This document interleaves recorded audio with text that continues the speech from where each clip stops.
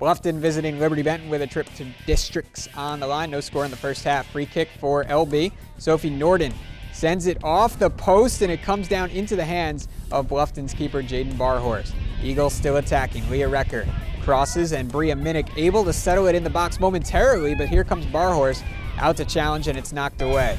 Other end of the field, Bluffton with a chance. Abby Gramble Plays a through ball, but it's scooped up by Taylor Garlock before any Pirates can get to it. Eagles back on the offensive now. Recker crosses, and Sydney Barton one times it off the near off the far post and into the net, and that goal opens up the scoring, gives the home team a one to nothing lead. Bluffton looking to respond. Good ball forward for Kelly Lagers.